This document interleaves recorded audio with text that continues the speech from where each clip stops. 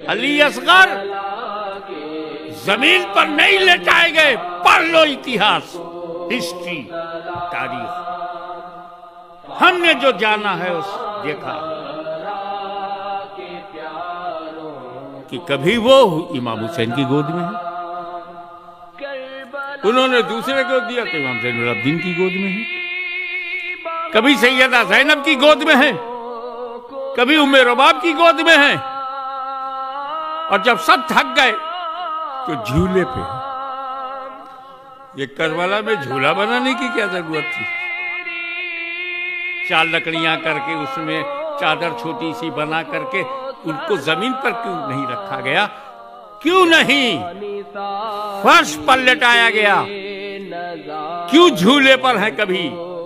गोद में है, आगोश में है, बाहों में है झूले पर है। ज़मीन पर नहीं। क्योंकि ज़बरदस्त अंदेशा था।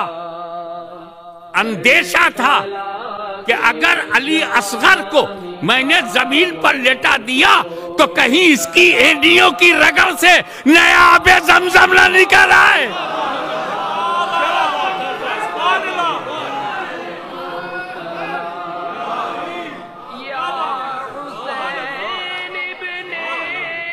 ये वही अली असगर है जिसका सगा परदादा इस्माइल की एडियो की रगड़ से आबे जमजम निकल आया। कहीं इस बच्चे की बच्चे की एडियो की रगड़ से दोबारा पानी ना निकल आए।